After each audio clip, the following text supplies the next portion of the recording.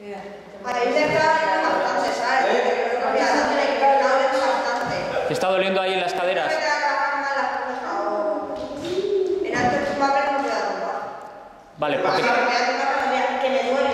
Cuando me tumbo me duele aquí atrás. Y ahora esto, eh, llevando esto y todo, me voy a tener que bajar más o ponerme de doble, no sé. Sí, ten en cuenta que es una presión a la cual no estás habituada. Entonces, eh, seguramente si ayer hubiéramos empezado como hoy, con menos tensión, con más gomas, pues hoy tendrías menos molestias de las que tienes hoy. ¿Vale? Pero es interesante saber, tener, haber tenido la experiencia de ayer para saber, mira, ¿qué nos pasa si nos vamos hacia el bungee dance?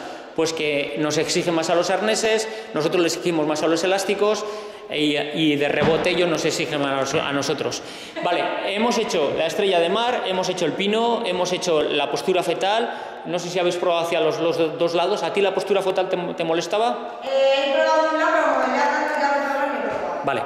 Acordaros que con, que con esta conexión también podemos ponernos a caminar en círculo, cogeros con una, con una cuerda, llevaros la conexión, eso es. Vale. Vale, vamos a ir aumentando el ritmo, pero os tenéis que sincronizar, tenéis que ir en el mismo punto, en el mismo punto del círculo. No, no estáis a la vez. A ver. Vale, volvemos a la posición de reposo. Volvemos a la posición de reposo. Va- Vamos a empezar a girar en sentido contrahorario, es decir, llevamos el conector, como está Sandra, llevamos el conector hacia nuestra izquierda, ¿vale? Y ahora vamos a intentar, eh, eh, ponte, ponte, ponte aquí, ponte lo más cerca posible de la pared azul, ponerlo lo más cerca posible de la pared azul, venga, y vamos a intentar en ocho pasos completar el círculo, ¿vale? Uno, Da igual, ahora el pie no importa tanto, pero bueno, venga, con la derecha. 1, 2, 3, 4, 5, 6, 7, 8. 1, 2, 3, 4, 5, 6, 7, 8. 1, 2, 3, 4, 5, 6, 7, 8. Sandra, te estás, te estás... Ahora os habéis... Vale, stop, stop, stop, stop. Volvemos a empezar. En 8 tenemos que estar siempre aquí, ¿vale? Cuando lleguemos a 8 tenemos que estar siempre lo más cerca posible de la pared azul, es decir, en la, en la posición de salida. 1, 2, 3, 4, 5, 6, 7, 8, ¿vale? Eh, un momento, volvemos a empezar. En cada dos pasos tenemos que hacer un cuarto de vuelta. 1, 2, 3, 4, 5, 6, 7, 8, ¿vale?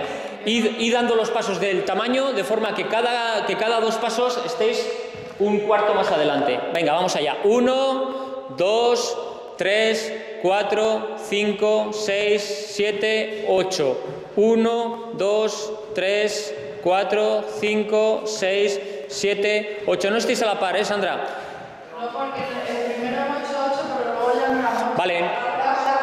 Marisa no ha hecho 8. Marisa en 7 pasos. No. O sea, no puede Pues imagínate las piernas de Marisa, si ella ha hecho el 7, yo hago un 4, porque ha hecho el 7. Ven. Venga, verdad. Tú- Mira, yo uno, dos, No, es que en 2 tienes que estar aquí. cinco. En 2 tienes que estar aquí. ¿Pero qué hago? Al contrario, te has sobrado. Te has sobrado pasos. Lo has hecho en 7 pasos. No llego tan para allá. Que claro que llegas. A ver, no te digo aquí. A ver, escucha, hazlo, parado, parado toda, ya, hazlo tú a tu rollo. Venga, coge. Venga, pero dándole amplitud. Venga, sin chocarte con nada. Uno, dos, tres, cuatro, cinco, seis, siete. No. Joder. Según cojáis velocidad, sí, habría que cambiarte a una posición más central. Tú que además eres más grande. A- Ahora vas tú, eh, Laura. Es que yo es que no puedo. Tú tranquila, no, no, no. Tú comienza a caminar. Es que, eh, aquí el truco es comenzar a caminar y cada vez ir más rápido, más rápido, más rápido, pero tú camina normal, tú camina normal. Comienza a caminar y vete cada vez más rápido. Lo único, inclínate para afuera, vete inclinándote Ya para no el cuerpo, inclina el cuerpo para afuera.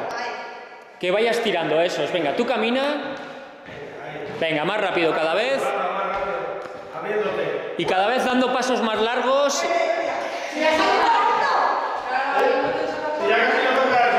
Esos pasos cada vez más largos, tienes que dar los pasos cada vez más largos, es decir, pegas unos zancadas así en plan gacela.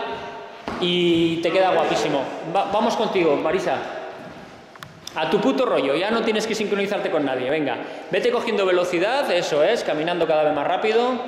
Vas cogiendo velocidad, más, más, más. Y las zancadas cada vez más largas, levantando más las piernas. Sigue ahí, sigue. Inclínate para afuera, inclínate más para afuera. ¡Qué bello!